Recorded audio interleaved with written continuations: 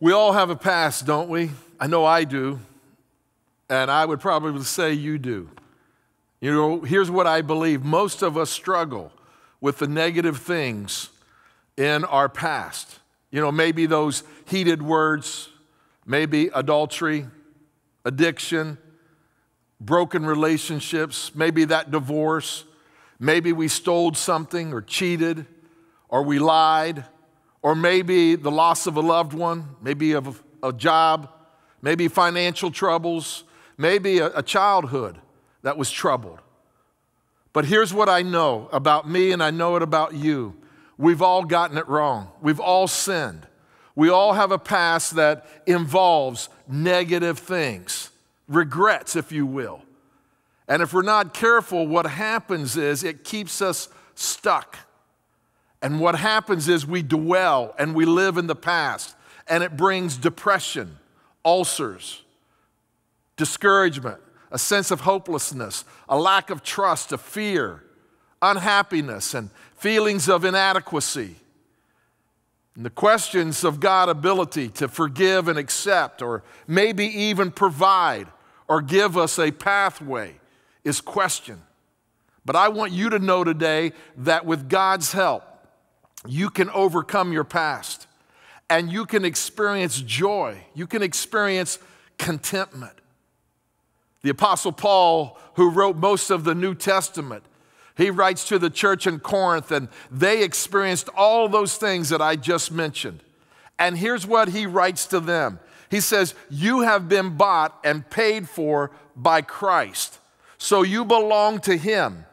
Be free, be free now from all of these earthly prides and fears. And that is so true. You see, in this life, we've all made mistakes. We've all done things that we regret. And you can't escape it, and I can't escape it. But if we're not careful, regret can turn into guilt. Guilt can lead to condemnation. And it can become a cycle that is very, very hard to break and be free from. And so, what I want to do is, I want to help you to understand that there's a difference between regret and conviction, between guilt and conviction. You see, regret is a tool that the enemy wants to use to keep you and I trapped in a life of condemnation.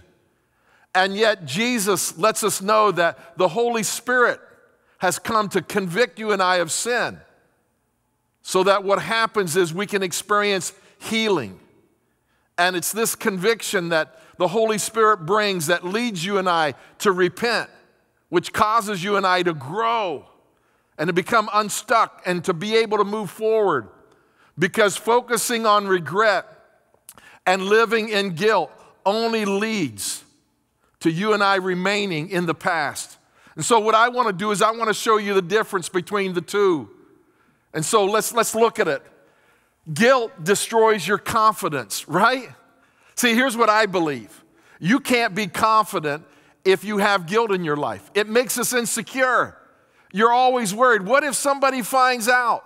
What if somebody really learns the truth about me? They may reject me.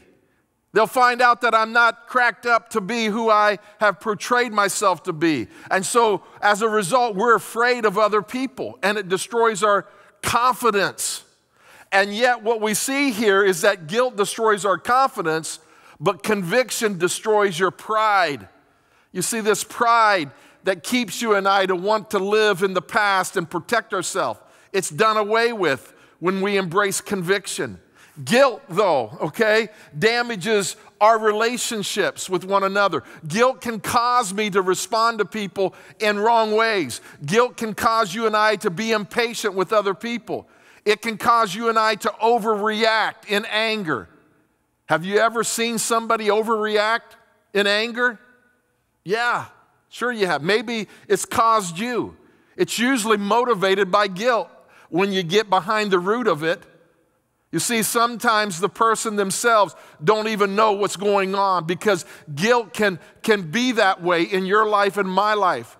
Guilt can cause you to spoil people, indulge people. You know, I feel guilty about this relationship. Maybe you're, you're divorced, and so what happens is your guilt causes you to spoil your kids. in a way that's unhealthy. And parents often feel guilty and overcompensate by indulging them. Or maybe guilt causes you to avoid relationships of where when you begin to talk about being committed, you back away.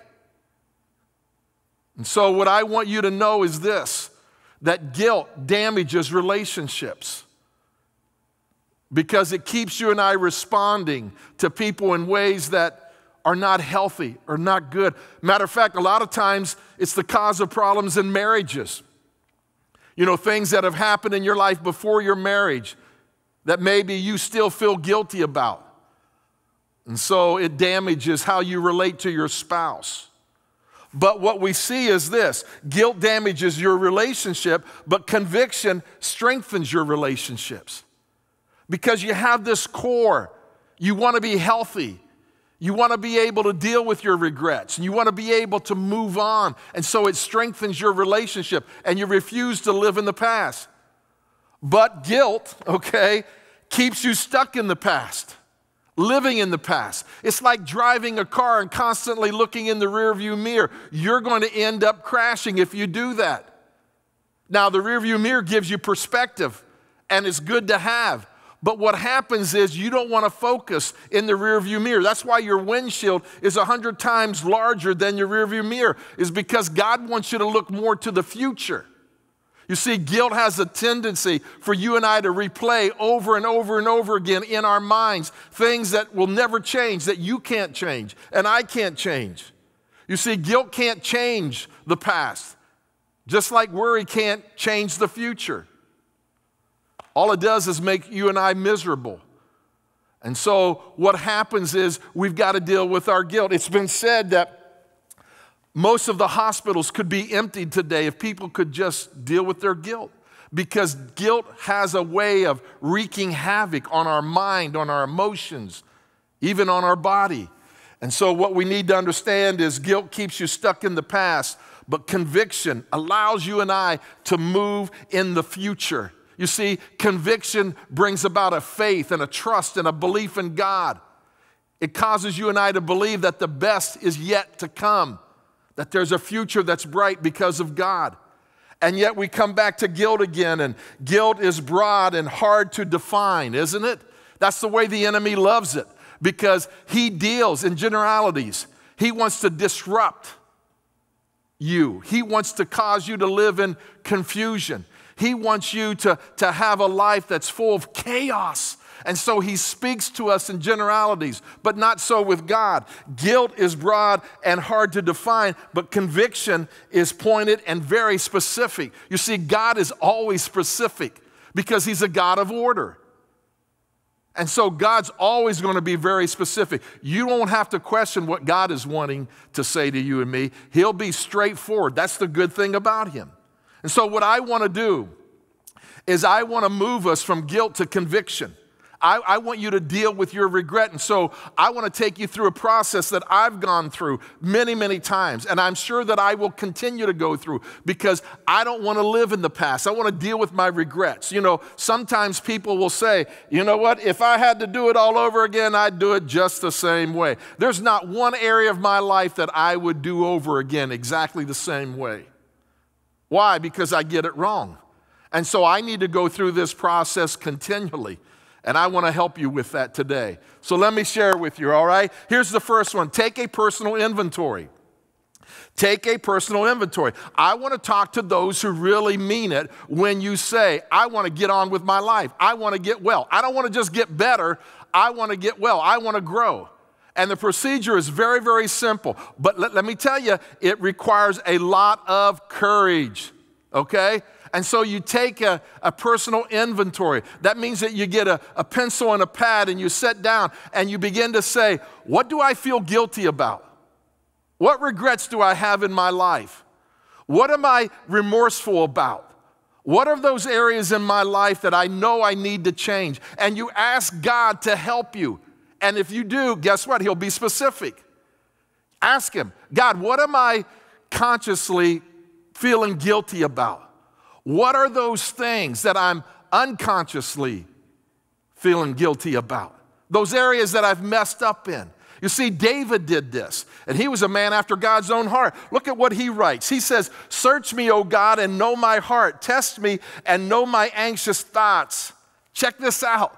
Point out anything in me that offends you, and lead me along the path of everlasting life. Man, I want everlasting life. And you might say, How can David say this? He's being so vulnerable, but generous. He's being, he's being genuine. He's being vulnerable, he's being transparent, he's being genuine. And you say, How can David do that? Because he knows God. He knows that God loves him unconditionally. If you will read those, those verses before Search My Heart, you'll find out that David is reminding himself of who God is. And so we take this personal inventory we just say, God, you know what? I'm sitting here, I've got my pen and my pad. Speak to me and don't rush through this. And by the way, as I said, it won't be a one time occurrence in your life. You'll have to do this over and over and over and over again. You'll need to do it on a regular basis. And, and so you tell God, God, I'm tired of pretending. I'm tired of, of, of being someone that I'm not. And I'm asking you to speak. Now, you might say, Dwight, why should I write it down? Because it forces you and I to get specific. You need to write it down because it helps you to be able to know exactly what you're dealing with. And it forces you and I to stop denying our problems. You see, God wants to bring conviction in your life and in my life. And we can allow Him to do that because He loves us. So you ask God and you become very specific. Here's the second thing in the process accept responsibility for my faults accept responsibility for my faults. When I make this list, I can't blame my mom, I can't blame my dad, I can't blame other people, I can't blame my ex, I can't blame my boss. I have to take ownership of where I am today.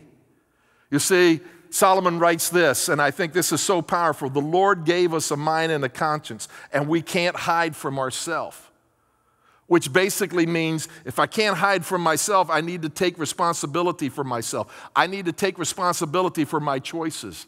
You see, here's what I believe, my friend, and I want you to hear my heart on this. The greatest holdup to your healing, okay, is you. Because it starts with you and I being radically honest and being able to say, you know what? I am the problem and I'm going to take responsibility. It's not about changing relationships or changing jobs or changing towns or changing churches or locations and thinking everything will be fine. No, no, no, no, no, no. The problem is wherever you go, that's where you are. And so we have to accept responsibility for our faults. Don't rationalize. Don't say, well, you know what, that happened a long, long time ago. Or everybody does it. Don't rationalize it. Don't minimize it. Don't say it's not a big deal. It is a big deal. That's why it's still playing over and over again in your mind. Don't say it's mostly their fault. Take responsibility. And if you'll do that, then you will stop defeating yourself. You'll stop deceiving yourself. You'll stop pretending. And so let me ask you a question What are you pretending not to feel guilty about? That you need to take responsibility for? See, that's a step towards not just getting better, but being healed. So accept your responsibility for your faults. Here's the third thing, and that is this confess to God and others. Confess to God and others. This is so, so, so important. You know, confession is, is a very, very important part of life. Okay, so I need to do it to God and I need to do it to other people. John writes it like this He says, If we confess our sins, our wrongs, okay, our regrets, He is faithful and just to forgive us of our sins and to cleanse us from all unrighteousness. Isn't that great? He says, If we say we have not sinned, we make Him a liar and his word is not within us. That's why it's so important that we accept our responsibility. So I need to freely admit it. And when I do, God will forgive me. And you might say, well, what is the right way to ask God for forgiveness? Well, don't beg, okay? You don't have to beg God to forgive you. God wants to forgive you more than you're willing to ask for forgiveness. Don't bargain with Him.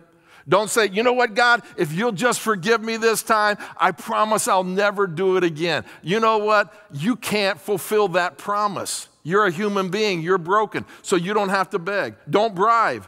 Don't say, God, if, if you'll forgive me, you know what? I'll start reading the Bible more. I'll start going to church. I'll even tithe. No, you just believe. You believe. You believe that God will forgive you when you and I freely admit that we have done wrong. And we will find God utterly reliable, that He will forgive us of our sins and He will cleanse us from all that is wrong and evil. You see, that word confess means to agree or to admit or to speak the same thing that God says that we've written down on our list.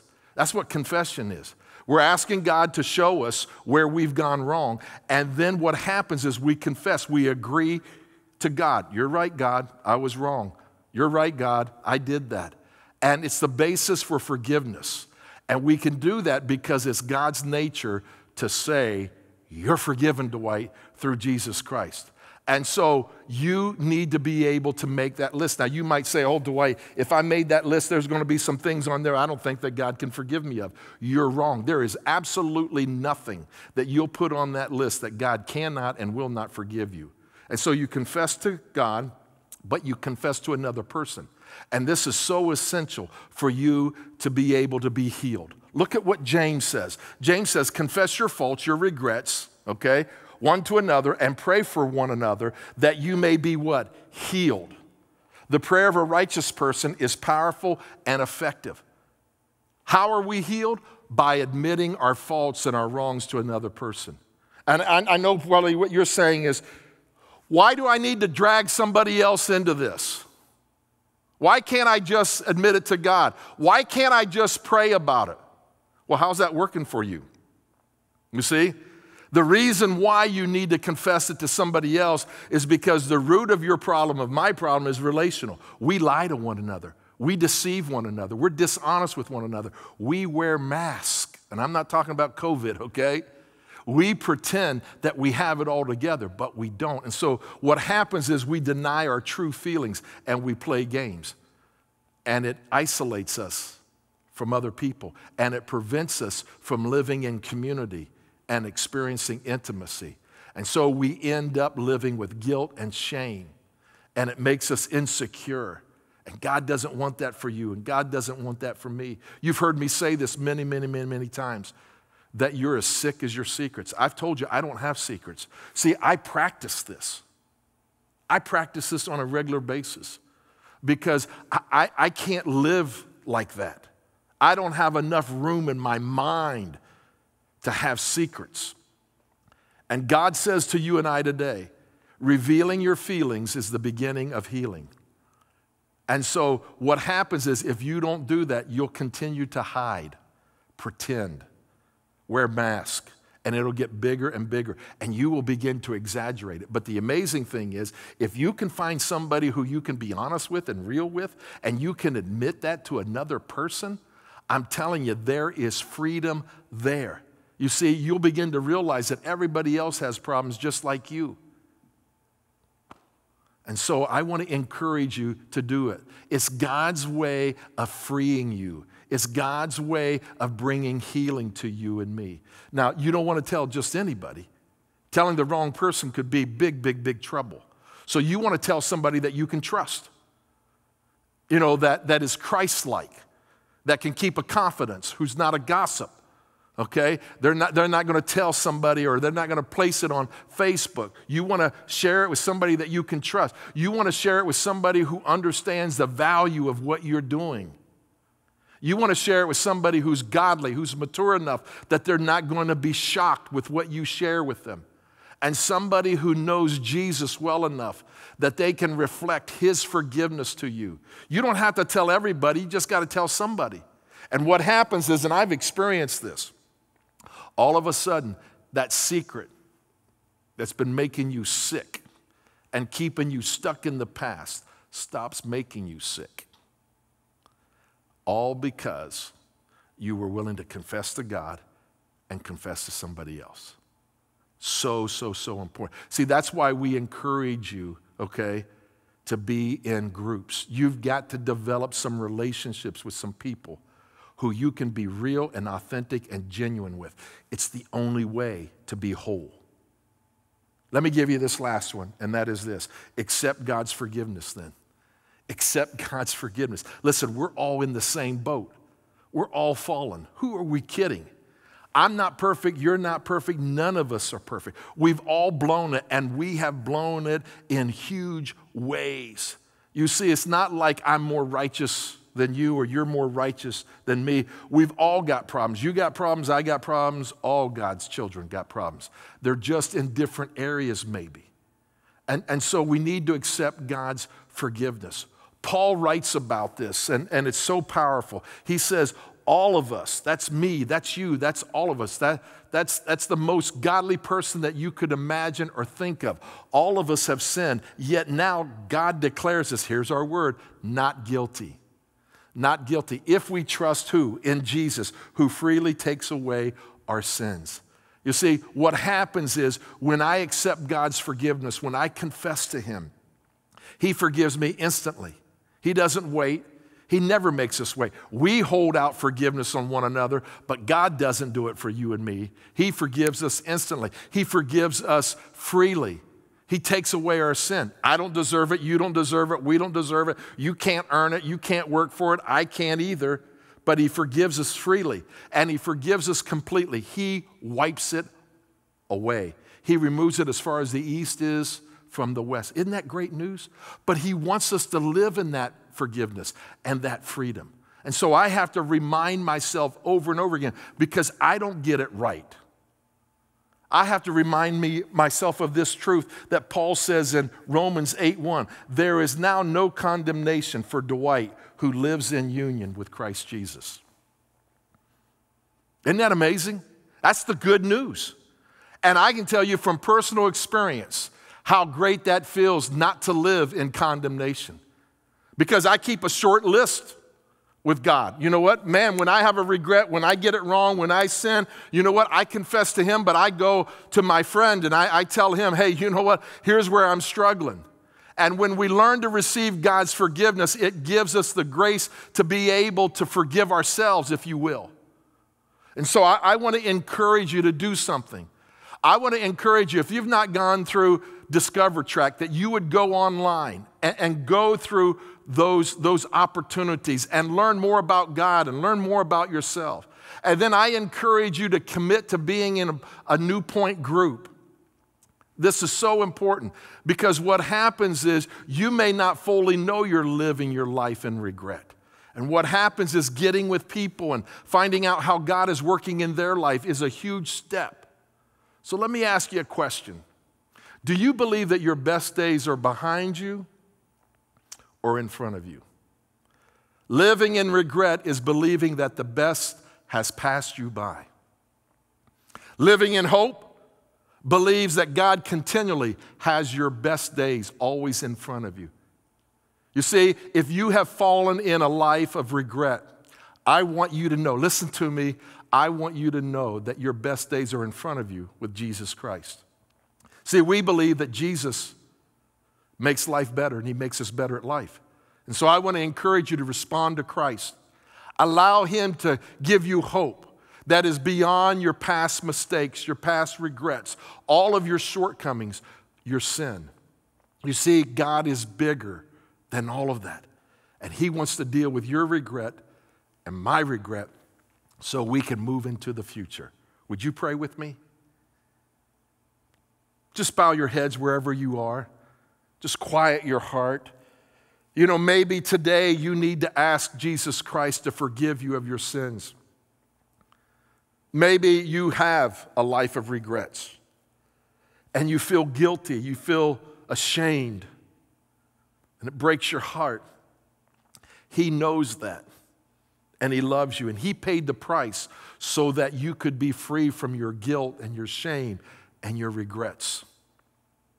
And you can pray a simple prayer, just saying, God, as much as I know how and as much as I understand, I want to be free from this.